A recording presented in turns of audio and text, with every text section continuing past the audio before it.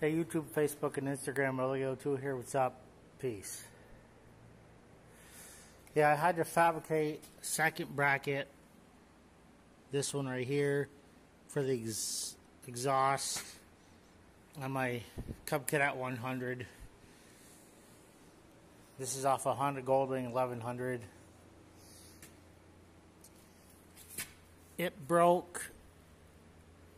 It cracked right where those welds are. So I had to have it re-welded.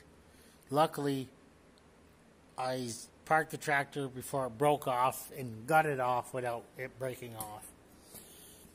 So I drilled this hole right here where this bolt is to connect to the bottom of the exhaust and then I drilled a hole in this end there was already a hole in the original bracket. I just didn't go all the way through this plate that I made.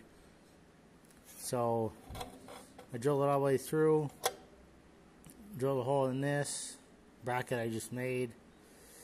Originally, I was just going to have it go around the bolt for the first bracket and go straight. Well, it wasn't wide enough.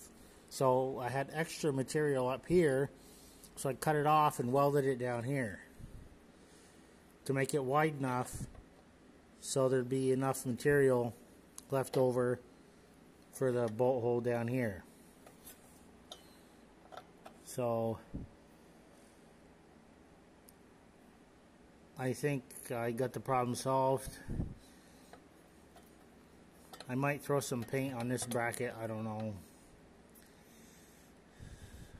Not sure what color would go good. Probably yellow or chrome. Well, I don't have any chrome. I got yellow, but the yellow I got would be too bright.